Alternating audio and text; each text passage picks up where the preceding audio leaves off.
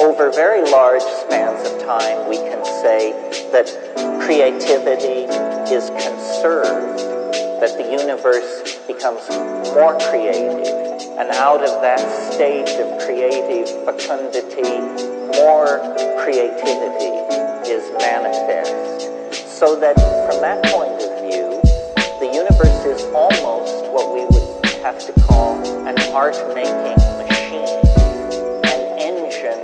for the production of ever more novel forms of connectedness, ever more exotic juxtapositions of disparate elements.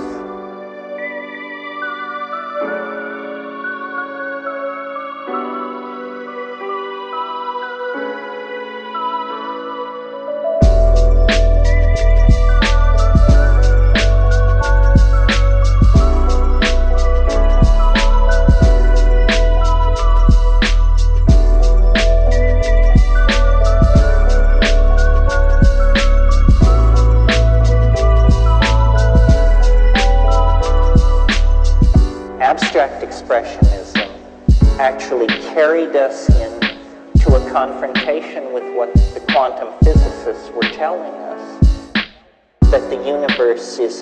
field upon field of integrated vibration, that there is no top level, there is no bottom level, that the ordinary structures of provisional space-time are simply that, that if we can rise out of the human dimension, then we discover these larger, more integrated dimensions where mind and nature somehow interpenetrate each other.